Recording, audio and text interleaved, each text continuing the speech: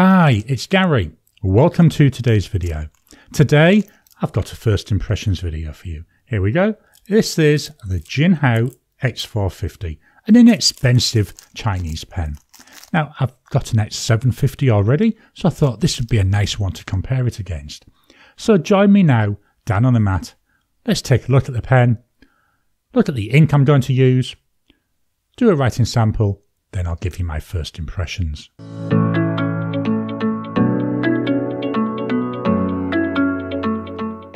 Here we are down on the mat. It's time to see the Jinhao X450 being taken out of its sleeve. There we go. Do you know, how exciting is it watching a piece of plastic being taken off a pen when you can see through it anyway? Just going to turn this around. I ordered this because, well, it's cheap. But I also liked the look of this pattern. I think that's quite pretty. It looks a little bit like loads of lightning strikes to me. I like the bluey grey background. I think again it's just interesting. Let's take a look around the pen. So at the top we've got a black plastic dome. That comes down, then we've got this gold coloured plastic clip. Very stiff, uh, won't even shift. The cap, it tapers out until it gets about a third of the way down the cap. Then it's the same width all the way down till we get to this metal band. The band, we've got Jinhao. Then on the back, X450. Really plain, really simple. Says what it is. That's what we like, isn't it? There's a very minimal drop off from the bottom of that band down to the body. I mean, you could hardly notice it. The only reason I'm really getting there is because I'm feeling for it. The body, so we've got the same width till about maybe two thirds of the way down. Then it starts to taper in. We've got another plastic gold coloured band and then another domed plastic end cap. Nice and simple. I do like the colour in there. Let's take the cap off. There's half. There's one. That's two. Now, I don't think this is taking the cap off. I think it's actually unscrewing the body.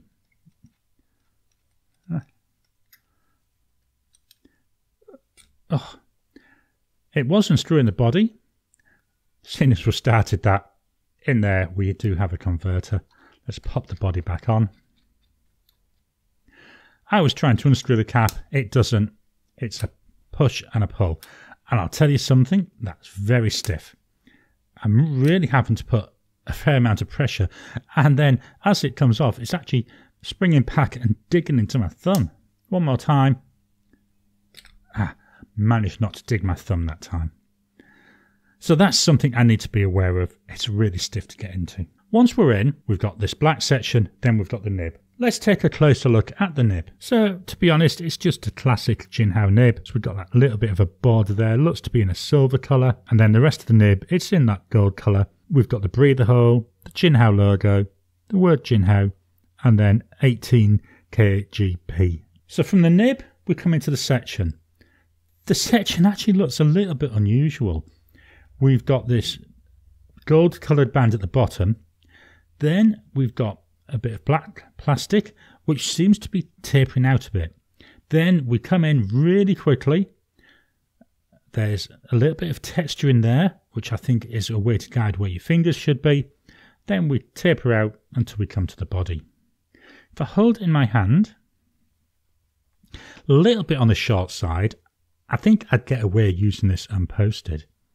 But the way that it's dyed in my fingers is actually quite comfortable. I'm going to try posting this just to see what it's like. So posted, to my mind, it's back heavy, but I prefer to use pens unposted. I might get used to it, but I think I'm still going to carry on unposted because, yes, as I said, it's too short, but not enough to cause me an issue. Let's pop that cap back on. I'm going to quickly swap over now and we'll do some size comparisons. My first two pens, the Pilot Metropolitan and the Lamy Safari. These are standard pens I try and use in every video. To me, they're all virtually the same length. Let's take the caps off. So with the cap off, I would say the Metropolitan and the Jinhao, I've got to be honest, they look about the same size. Certainly when I've got all the nibs lined up here at the bottom. The Safari definitely got the size advantage over those two pens. The Jinhao, it's got a number 6 size nib. Means I can swap the nib if I want to. That's one of the things I want to look at because although Jinhao nibs are nice, using them essentially as a nib holder so I can try different types of nibs, I really enjoy that. Let's post these. Posted. Again, we see that Lamy, definitely a lot longer. This time, the Metropolitan, you can certainly see posted, it's shorter. The Jinhao, as we saw earlier on, it's nice in the hand.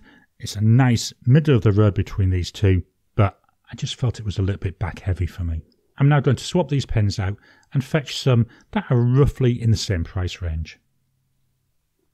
Now, normally here I would only fetch in two pens. I've brought in three. The reason will become very obvious in a second.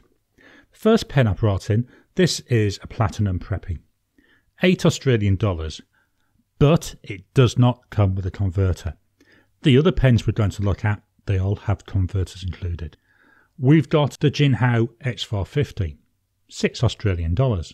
I've brought in a Jinhao 997, 6 Australian dollars. I've also brought in a Jinhao X750, so same line as the 450, 6 Australian dollars. Three Jinhaos, all $6 each. I think they look nice. The X750 doesn't post. The 997 and the X450, yeah, they look about the same size. The Preppy, again, a little bit shorter. Let's remove the caps.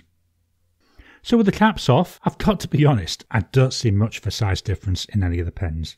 The 997 may be slightly longer, but only by the tiniest amount. The X750, the X450, they've both got number 6 size nibs. That 997, I'm not sure what size the nib is, but definitely looks smaller when you compare it against the other two Jinhaos. Then the Preppy, it's got that really tiny nib, but it doesn't matter because it writes so nicely. Let's pop the caps back on. With the cap on, I've got to be honest, to my eye, I don't see much in the way of size difference. I'm now going to step away from the desk, going to give the pen a clean out. When I come back, we'll take a look at the ink, we'll fill the pen, do a writing sample, then I'll give you my first impressions. I'm back. Today's ink by Diamine. Diamine Royal Blue. Not a good match for the body, but I think it's still going to complement it quite nicely. I may need it at some time to try something like maybe Eau de in here, but I've used that ink a lot lately and I wanted to try something different, which is why I thought, well, we'll give Royal Blue a go. Let's get out of the way. Fetching Quickie Koala, today's ink holder. There goes the bottle. Okay, let's take the pen apart. There's a converter. I've already pushed it all the way down. Let's fit that in the bottle and fetch in some ink. So there, one fill, almost to the top. Just wipe off the nib, and I'll pop that pen back together. Let's get the ink out of the way, and let's fetch in the trusty notepad of testing. This is by Black and Red, and it's an A5 notebook. It uses the Oxford Optik paper. It's a really nice fountain pen friendly paper. Let's do some writing. So we have here a Jinhao X450. Now, it was advertised as a broad nib. I think it might be tending towards medium, but we'll give it the benefit of a doubt. And when you and when you consider it cost six dollars, I mean, who's really going to argue? The ink, Diamine, royal blue.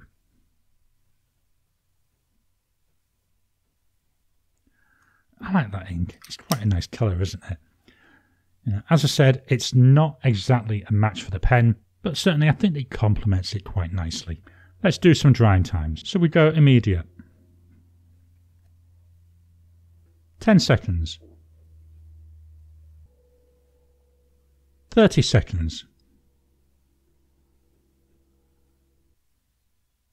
Still fairly wet at 30 seconds. Let's go for one minute. After a minute, so we're still fairly wet even after a minute. I'm going to move the mic down to the paper so you can hear the pen writing.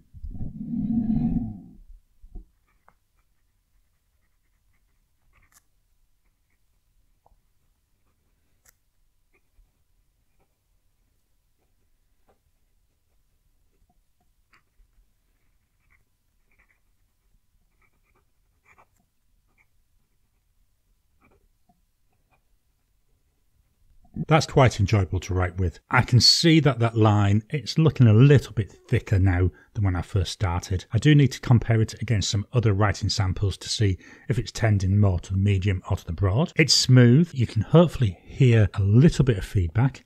It's not scratchy. I don't want to say it's gliding over the paper because there's definitely that tactile feel to it, but it's not catching, it's not dragging, it's not scratching. Let's look at line variation. So the first three lines, no pressure. Next three, I'm definitely adding some pressure here, and you can see a nice thicker line. Do some S's. So I'm trying to put more pressure on my downstroke. Here I'm just going to go with no pressure, so you can definitely see the difference between the two. My final test, my scribble. This is just checking to see if the ink flow keeps up.